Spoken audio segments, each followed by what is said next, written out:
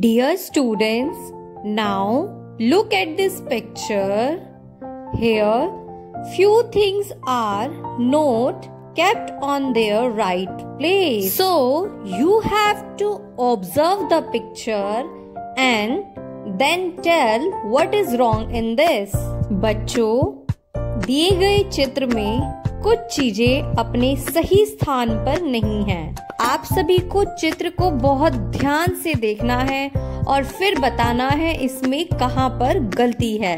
Do you remember this when bear family went for a walk before dinner somebody came in.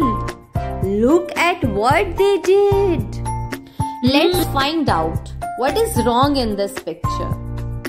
mm, look at the ball is it at the right place hmm do you keep your ball in your plate क्या आप plate में ball रखते हैं no so this is wrong now let's fill this sentence a ball dash papa bear's plate so our answer will be a ball is kept on Papa bear's plate. Ball कहाँ पर है? पापा bear की plate पर। Now again look at this picture a flower dash mama bear's plate a flower is kept on mama bear's plate फूल कहाँ पर रखे हैं? मम्मा बेयर की प्लेट पर। है ना?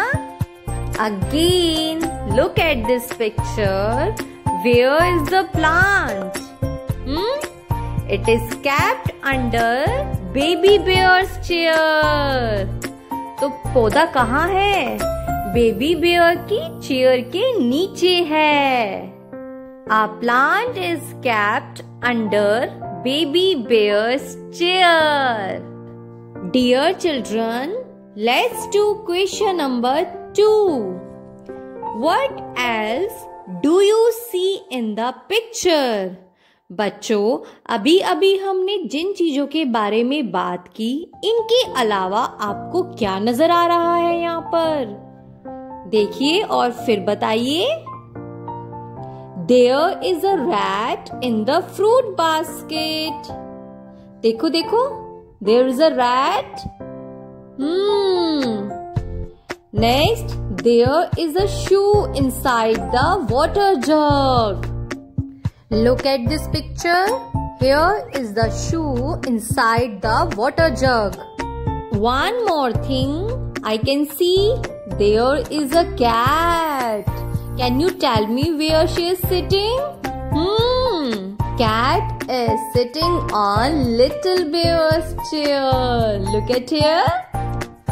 Now students, do this walk in your English notebook.